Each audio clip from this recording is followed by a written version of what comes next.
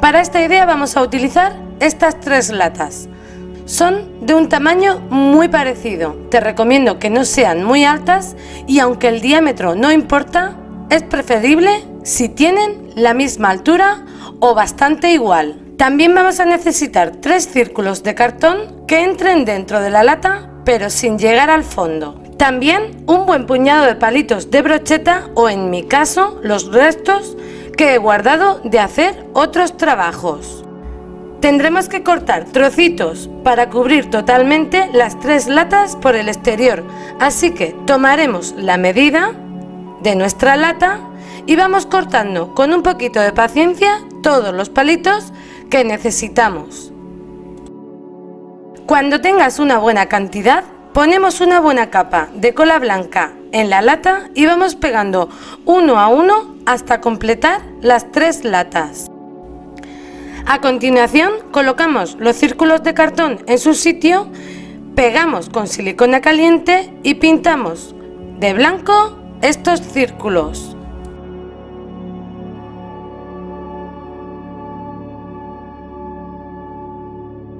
Estas latas las vamos a transformar en un bonito portafotos familiar, así que he impreso unas fotos a las que voy a recortar la parte que necesito para colocar en cada una de las latas.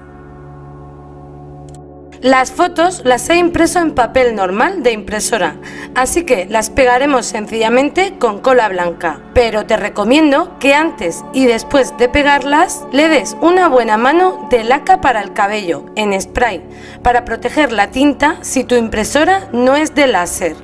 Después que haya secado la laca, protegemos con una fina capa del mismo pegamento que hayamos utilizado para pegar las fotografías y por último, damos una o dos manos de barniz. Para sanear los bordes y puntas de los palitos de brocheta, haremos varias trenzas con cuerda de yute que pegaremos en esos sitios para dar un buen acabado. En las dos latas más pequeñas no voy a poner la trenza que he puesto por la parte de adelante en la lata grande. Sanea la parte de atrás y ya podemos pegar las latas.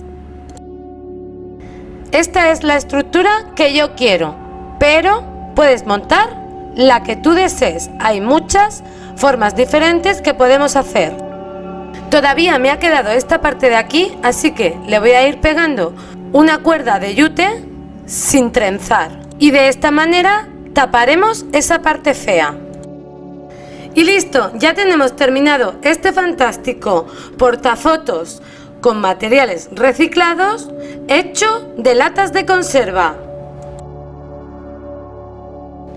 Para hacer esta maceta voy a utilizar una lata de leche en polvo para bebé, que es de un tamaño más o menos grande. Lo primero que haré serán los agujeros para el drenaje. Me ayudo de un tornillo y un martillo. También puedes utilizar otro tipo de herramienta como un taladro, pero en este caso no todo el mundo tiene y creo que será mucho más fácil hacerlo así. Para decorar esta maceta voy a utilizar palitos de brocheta. Como son demasiado largos, mucho más que mi lata, voy a ir cortándolos todos a la medida. Me ayudo para cortarlos con una tijera de podar porque son bastante fuertes y el palito, aunque sea fino, con una tijera normal cuesta bastante cortarlos. Así que de esta misma manera y teniendo la medida de la altura de la lata, vamos a ir cortando todos los palitos a la medida. Cuando tengas una buena cantidad, suficientes para rodear tu lata, ya podemos empezar a pegar. Yo voy a utilizar cola blanca de carpintero. Es una cola que utilizo bastante fuerte. Si te interesa la cola que yo compro, te dejaré el enlace en la descripción. Vamos poniendo cola poco a poco y colocando varillas de brocheta a la altura que hayamos cortado. Fíjate que si hemos cortado de más, como me pasa a mí, sobresaldrán un poquito. Si quieres que queden rectas, tendremos que cortar un poquito más. A mí me ha tocado darles un repasito a todas porque seguramente tomé mal la medida. Así que me he entretenido otro rato cortando varillas y ya las tengo todas más o menos igual.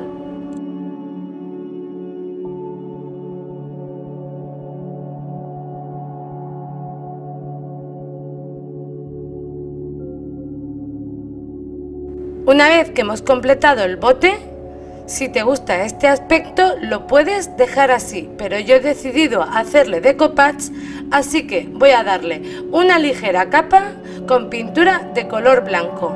De vez en cuando iré mezclando la pintura con agua para que se transparente el tono de las varillas. Ya tengo la lata y las varillas pintadas secas, pero quiero darle un aspecto más rústico y desgastado todavía. Así que con una lija gruesa voy a ir dando una pasadita para que salga el color de alguna varilla por encima.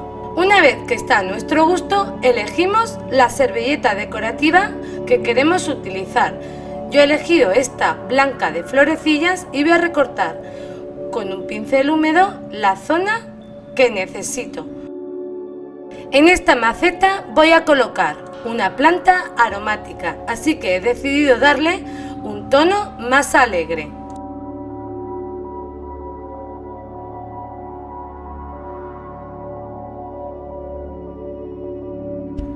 Como siempre, para hacer decoupage tendremos que quitar las capas blancas de la servilleta en la parte donde quiero poner la servilleta voy a colocar cola blanca diluida en agua.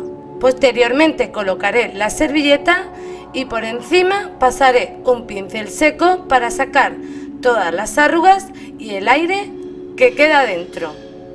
Por encima de la servilleta puedes volver a pasar la brocha con cola blanca para que quede bien pegada y fija a las varillas, pero con mucho cuidado de que no se nos rompa.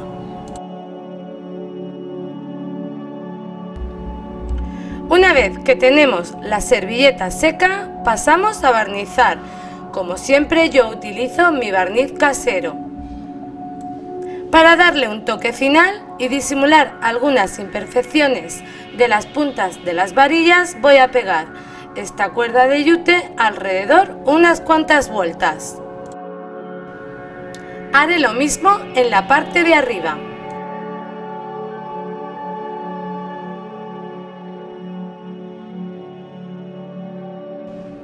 Y este es el resultado final. Como te comenté, voy a plantar aquí una planta aromática y necesito que guarde la humedad, así que he leído por internet que colocando un aislante de corcho aguantará la humedad sobre todo en estos tiempos de calor. Así que voy a colocar este trocito que tengo de un embalaje y voy a hacer la prueba a ver qué resultado da. En el fondo voy a colocar unas piedras para su drenaje y a continuación desmoldaré la planta de la maceta que trae del vivero y la colocaré en mi lata que es mucho más bonita y hecha por mí misma. Si necesitaras más sustrato o tierra para tus plantas, te recomendaré una que yo compro o suelo comprar y te dejaré el enlace en la descripción del vídeo. También te recomendaré algunos productos que yo utilizo y me van muy bien para el cuidado de las plantas. Estas son las latas que voy a utilizar para hacer este organizador. Le puedes dar el uso que quieras, pero yo de momento te voy a mostrar cómo lo he hecho. Lo primero será quitar el filo que corta para no lastimarnos cuando lo estemos usando. Como puedes ver con este tipo de abrelatas podemos quitar esa parte sin riesgo a cortarnos de ninguna manera. Tendremos que limpiar cualquier resto de suciedad para empezar a decorar las latas. A continuación yo voy a pintarlas de blanco. Voy a utilizar pintura acrílica que voy a aplicar con esponja porque cubre mucho antes y más rápido. Una vez que están secas pasamos al siguiente paso. Voy a hacer la técnica del decoupage. Para ello voy a utilizar este tipo de servilleta con un estampado animal print. Voy a cubrir la lata por completo, así que tendré que cortar un trozo suficiente para cubrirla. Como siempre en la técnica del decoupage, quitaremos las capas blancas. Para ello, humedezco los dedos en un poco de pegamento y fácilmente despego esas capas. Para hacer esta técnica, vamos poniendo un poco de cola blanca diluida en agua en la lata. Colocamos la servilleta con mucho cuidado y con un pincel seco pasamos por encima de la servilleta para quitar arrugas y burbujas de aire. Siempre lo haremos desde el centro hacia el trozo de servilleta que he cortado de más lo voy a cortar en pequeñas pestañas de un centímetro aproximadamente para pegarlo hacia la parte de abajo. Mientras secan las latas vamos a preparar el asa del organizador. Para ello voy a utilizar las asas de una bolsa de papel, que es una especie de papel craft enroscado. Estas asas las voy a cubrir con una tira de trapillo en color negro, pero puedes utilizar cualquier otro material, como por ejemplo en puesto del asa de papel puedes utilizar un alambre y en puesto del trapillo, por ejemplo, un trozo de listón. Eso queda totalmente a tu preferencia. Una vez que tenemos forrado el asa, unimos las puntas y reforzamos con un trozo de cuerda de yute.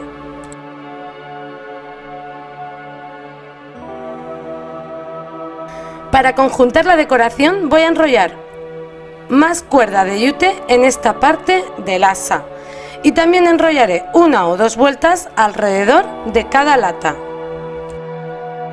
De esta manera vamos a montar el organizador, así que Ponemos bastante silicona caliente en el asa y vamos pegando a las latas.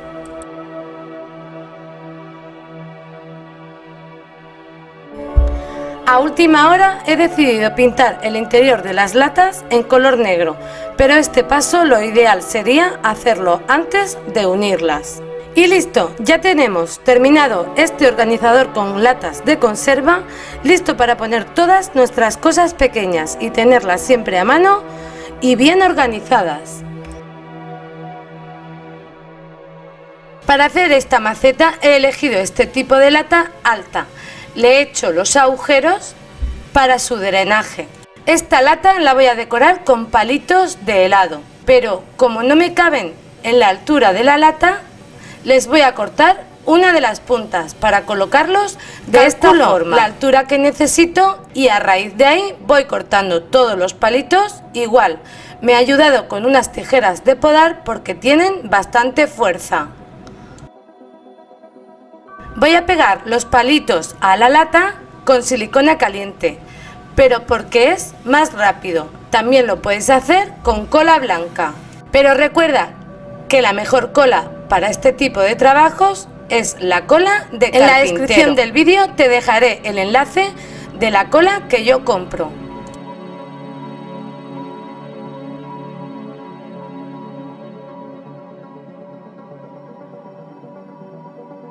Una vez que hemos terminado de cubrir la lata, pasamos a pintar.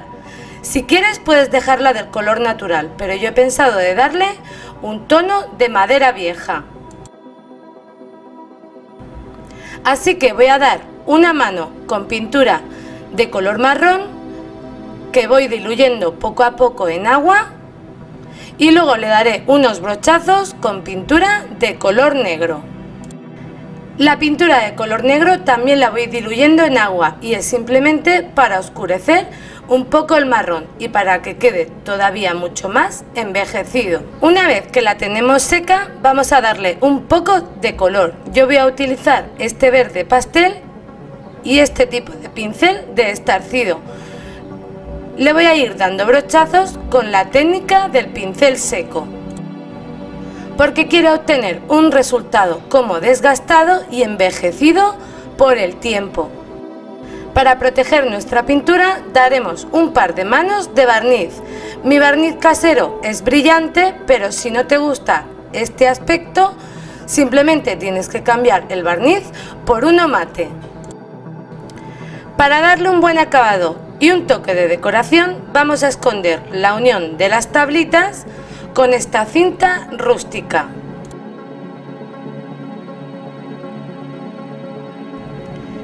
Y ya tenemos terminada esta maceta y lista para poner una planta.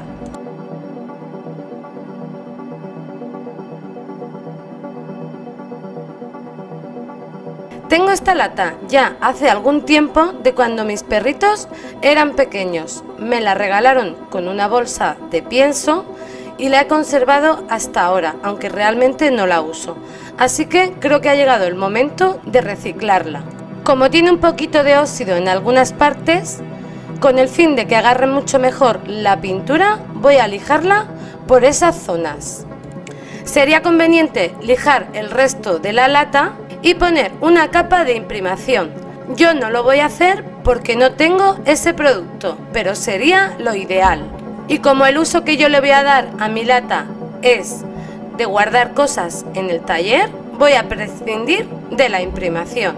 Así que lo que voy a hacer es dar una capa de pintura acrílica en color blanco para empezar a decorarla. Lo voy a hacer al estilo vintage, con la técnica del decoupage.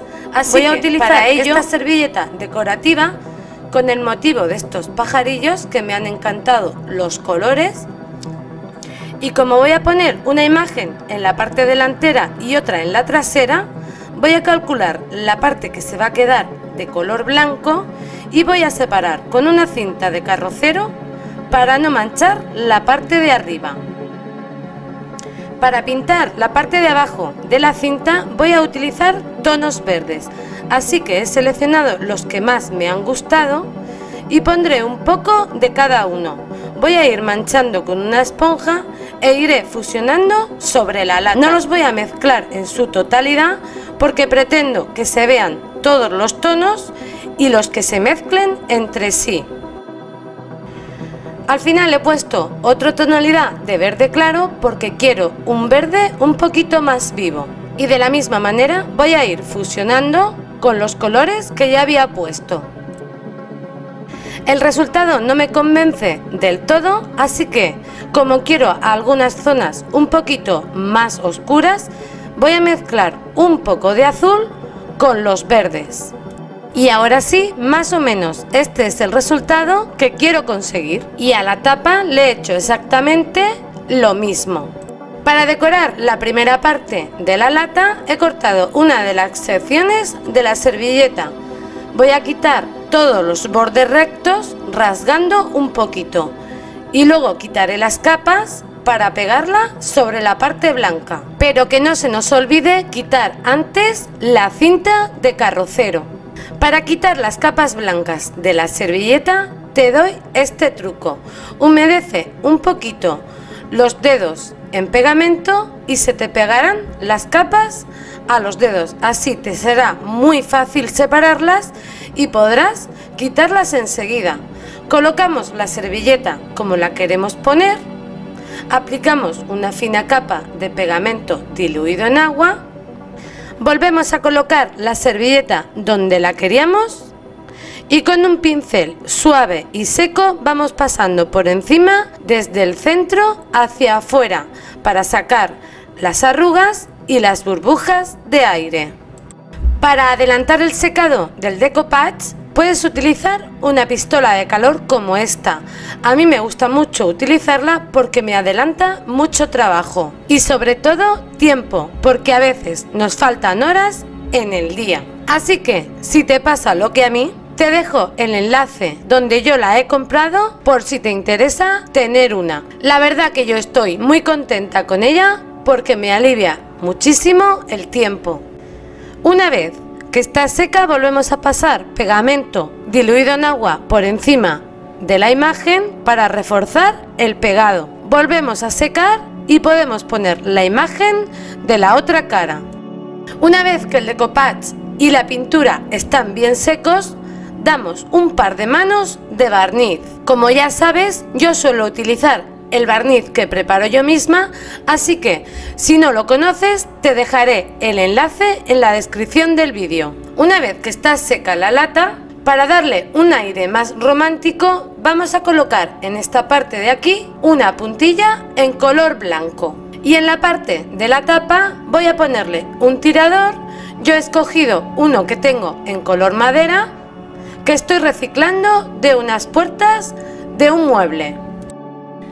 Y listo, ya tenemos terminada esta lata que nos puede servir para guardar un montón de cosas. Espero que te hayan gustado estas 5 ideas para reciclar y decorar latas. No olvides dejarme tu dedito arriba si te han gustado y suscríbete si eres nuevo o nueva en el canal.